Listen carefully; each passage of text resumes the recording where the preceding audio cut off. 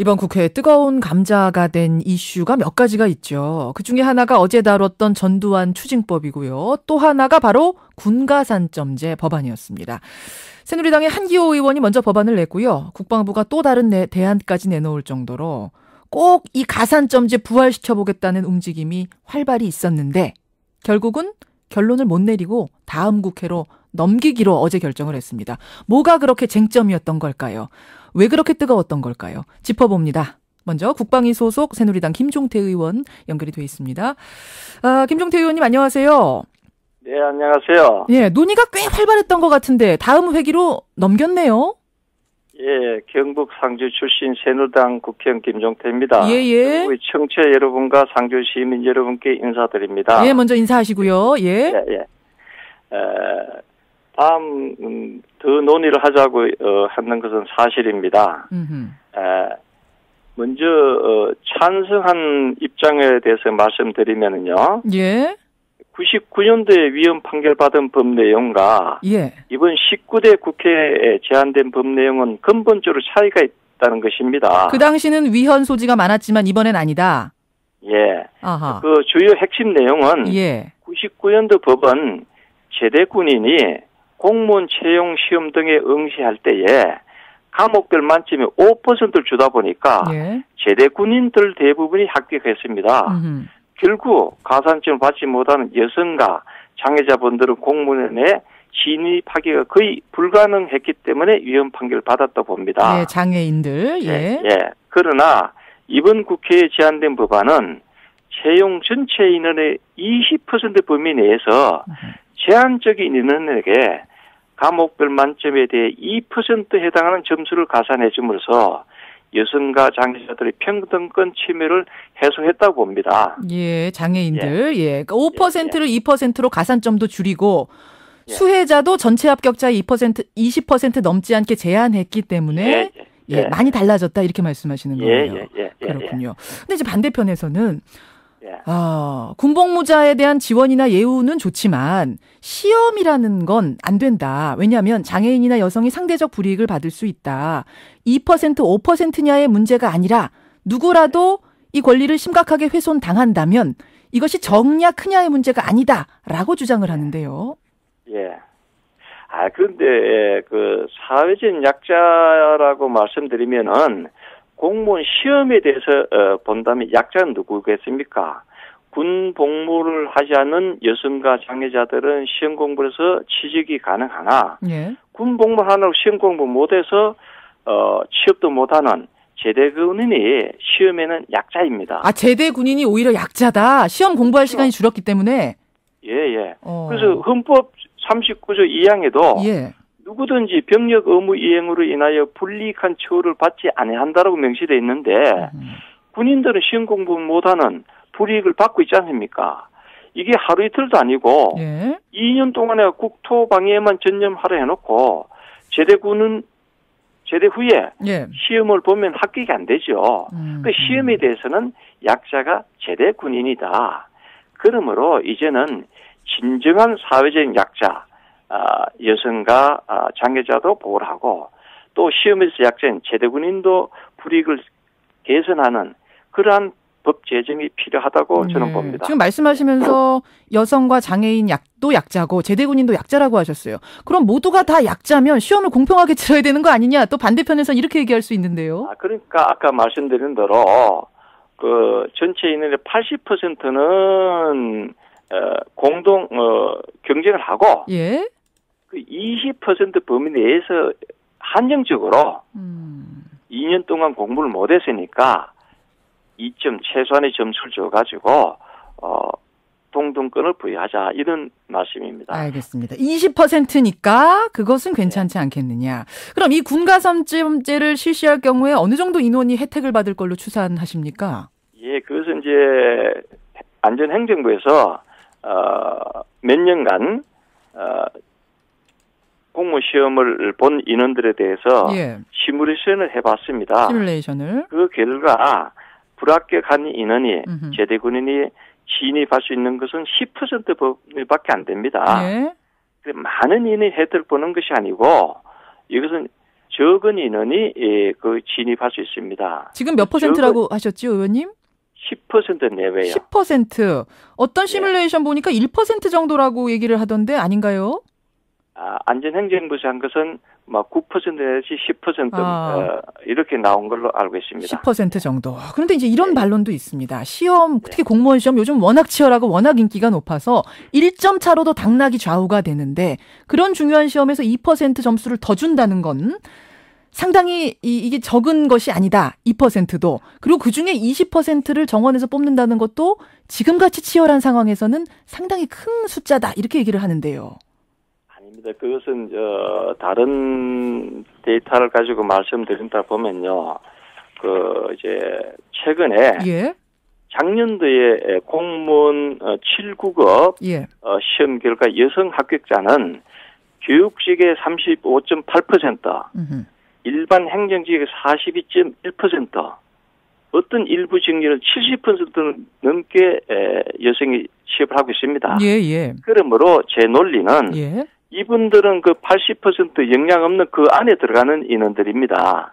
아. 그러니까 남성이 차지하는 부분에 대해서 그 20% 예. 내주더라도 20%다 가져가는 것이 아니고 10% 정도가 세대 군인 한 사람들끼리 경쟁함으로 다른 사람들에게는 크게 영향을 미치지 않는다고 보시면 되겠습니다. 어차피 여자들이 잘해서 한 최대 70%까지 합격하니까 나머지 30% 가지고 거기서 남자들한테 더 주겠다. 군대 갔다 온 예, 주- 남자들한테. 주 더라도 그럼 군대 안 갔다 온 남성분들은 어떡하나요? 여러 가지 이유로 인해서. 그거는 2년 동안 공부를 하니까 아. 아, 최소한 어, 2점 정도는 어, 만회할 수 있지 않느냐. 다른 남성들한테 줘라. 그 정도는. 예, 그것도 어, 그 어, 군대 온 사람들끼리 경쟁하는 예, 게 아니고 예, 예. 그 사람들 그 사람들이 경쟁하기 때문에 알겠습니다. 평등권이나 유연성은 많이 해소되었다 봅니다. 근데 예. 김 의원님, 이렇게 예. 군가선점제 논란이 크면 예. 시험 말고 다른 데서 혜택 주면 안 되나요? 아, 근데 다른 것도 있습니다만은 이제 가장 공무원들 채용 시험을 선호하다 보니까 예. 아, 이제 이 문제는 이 문제이고 또 다른 문제는 다른 문제이고 뭐 군대 갔다 와서 또 혜택 받고 또 혜택 받고 이런 것이 아니고 공무원 채용 시험에서도 이런 게 있습니다. 아, 2%라도 가산점을 받으면은. 어, 군 경력 가사 어, 점수 군 경력 호봉소 예. 이것은 혜택을 못 받도록 제한하고 있습니다. 이중 혜택을 받으니까. 음, 예. 아, 그러니까 이중 혜택이냐, 뭐 삼중 혜택이냐 이 문제가 아니라 지금 혜택 받는 그 자체가 논란인 거- 거니까요. 혹시 시험이 아닌 다른 방법은 안 되겠느냐 하는 건데 오히려 지금 김 의원님은 공무원 시험이 인기 있기 때문에 거기에다 가산점을 줘야지 진짜 특혜다 이런 말씀. 어, 이 문제는 어, 전부 다 아, 부- 어, 자식을 가지는 부모나 예.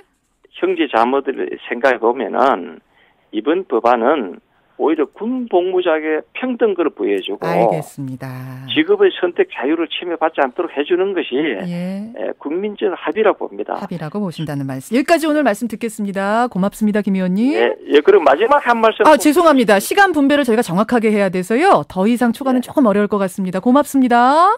예, 예. 새누리당 김종태 의원을 먼저 연결해봤고 부지런히 뒷분 연결합니다. 민주당 남윤인순 의원이 연결돼 있습니다. 남윤인순 의원님 안녕하세요. 예, 안녕하세요. 앞에 얘기 들으셨을 텐데요. 네네. 그러니까 어 지금 뭐 2년 동안 공부 못하지 않느냐. 따라서 네, 네. 이분들도 이 군 제대한 분들도 약자다. 예, 여성 장애인만 약자가 아니다. 예. 가산점제 주자. 대신 예, 점수도 조금 더 주고 예전보다 조금만 더 주고 예. 정원도 정원의 20%로 제한도 한다. 네네. 이런 건데요. 예, 예.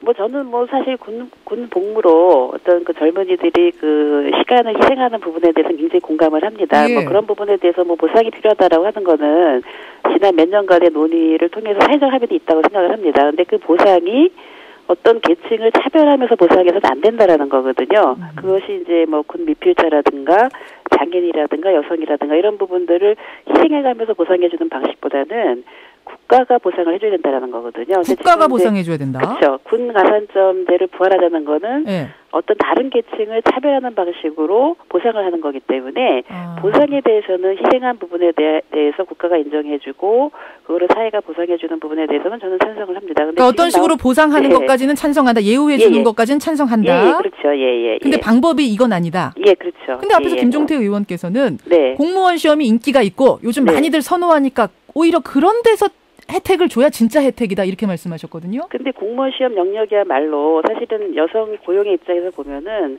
가장 그래도 그 분야가 공정하게 경쟁할 수 있는 분야거든요. 그러니까 시험에서만큼은 시험 보는 것만큼은 그래도 우리 사회가 차별하지 않아야 되는 그런 정도의 우리 사회 수준은 맞다고 생각을 합니다. 그래서 어떻게 보면은 공무원 시험은 그 임신이나 출산, 육아에 부담이 있는 여성한테는 거의 유일한 공정 경쟁 영역이거든요. 예. 근데 만약 군가산점제가 시행이 되면은 음. 그나마 이 공정 경쟁 영역의 여성들이 그래도 그 동등하게 이렇게 진출할 수가 있는데 아마 더 진출이 상당히 어려워질 거라고 생각을 합니다. 그래서 그런 점에서 우리 사회가 점점 공정 경쟁 영역을 확대시켜 나가야 되는데 네. 이 영역까지 그냥 그렇게 또 이렇게 다시 군가산점제를 부활해 버리면 음. 또 군가산점 자체가 사실 위헌성이 해소가 아직 안 됐습니다. 그런 그런. 문제가 남아 있기 때문에요. 좀 다른 방법을 찾았으면 좋겠다고 생각을 합니다. 예. 근데 여성들은 어차피 지금 한 최대 70%까지 합격자를 차지하고 있기 때문에 예, 예. 에, 정원에서 20% 정도를 군가산점제로 뽑는다고 해서 여성들 침해받지 않는다 또 이런 말씀도 하셨어요.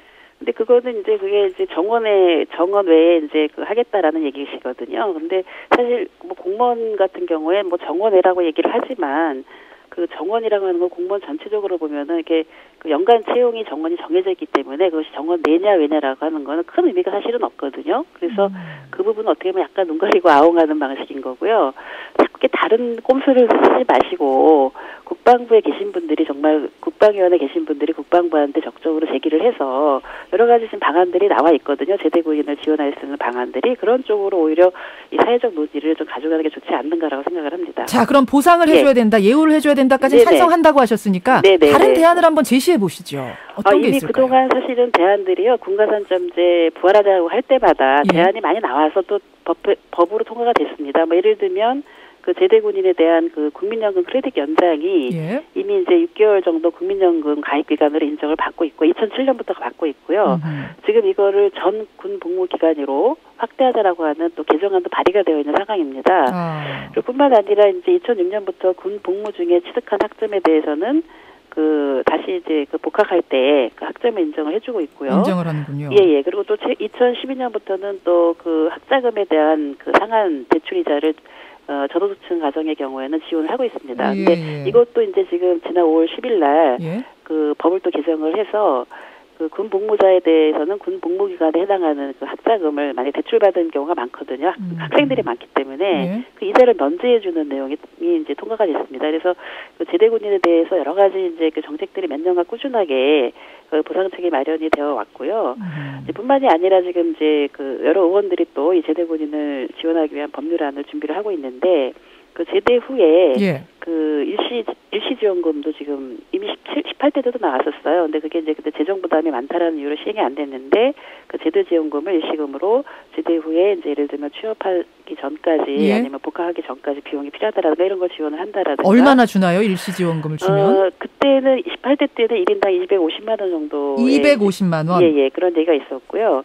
어, 근데 그때 예산 투입이 많이 든다라는 거였고, 그걸 좀, 그, 범위를 좀 조정해야 되지 않냐라고 했는데, 근데 통과가 안 됐어요. 안 됐죠. 다- 예, 다시 그거를 누가 또 법안을 준비를 하고 계신 걸로 알고 있고요. 아. 그 다음에 사병 급여를 현실화하자. 거기에는 동의하세요, 남현윤순 의원님? 일시지원금. 기대지원금, 일시지원금에 대해서는 그 액수에 대해서는 조정을 해야 되고, 모든 병사를 지원할 것인지 아니면, 지금처럼 그 저기 그 저소득층 가정 예를 들면 월 소득 430만 원 음. 이하 가정에 대해서만 할지 그거는 좀 더 논의가 필요한 것 같습니다. 그러니까 그런 거를 어떤 주게 되면은 어, 전체적인 재정 부담이 조금 축소가 되면서 저는 시행하는 거에 대해서는 찬성을 합니다. 음, 예. 그리고 뭐 사병급여를 현실화하자 뭐 이런 부분도 있고요. 그런 얘기도 지금 인터 어, 저 청취자 문자로 많이 들어오거든요. 사병 예, 예. 월급 올려주면 일단 어느 정도 저- 월급도 지금 이제 예를 들면 사병이 1등병이 10만 10만 580원이거든요. 예, 예. 예, 그래서 이거를 조금 더 뭐 올리자라고 하는 뭐 두 배 이상 올리자 뭐 이런 얘기도 있고요. 음. 그리고 조금 더 장기적인 대안으로는 우리가 이제 군대 제도가 어떻게 될 것이냐, 예. 군 복무 기간도 좀 단축을 하고, 그 다음에 모병제로 좀 전환을 하면서 어, 남녀 모두가 사실 지원하면 군대 갈 수 있는 거로 하게 되면 좀 더좀 장기적인 대책이 되지 않겠느냐 뭐 이런 얘기도 것까지. 있고요. 오늘 사실은 굉장히 비극적인 일이지만은 그 어떤 군인이 이제 그 의료 사고가 나서 오늘 제가 그 신상병 말씀하시는 거군요. 알고 예. 있는데요. 그런 문제가 사실은 군대 안에서의 어떤 의료 알겠습니다. 문제라든가 복지 예. 문제 이런 것이 해결된다고 생각을 하고 있습니다. 그러니까 예. 정원으로 뽑는 국방부 방안이든 한기호 예. 의원의 법안이든 이런 시험에다가 점수 주는 방식은 아닌 다른 방법 예, 예. 찾아보자라는 다른 방법 찾아보자라고 하는 게 저희의 꾸준한 주장입니다. 예. 이번 회기는 어쨌든 이 정도 하고 끝이 납니다. 다음 9월에 여름 지나고 나서 한 번 더 논의를 하게 되는데요. 그때까지 국민적 여론 좀 모아봐야겠습니다. 수고하셨습니다. 네, 감사합니다. 민주당 남윤인순 의원까지 만나봤습니다.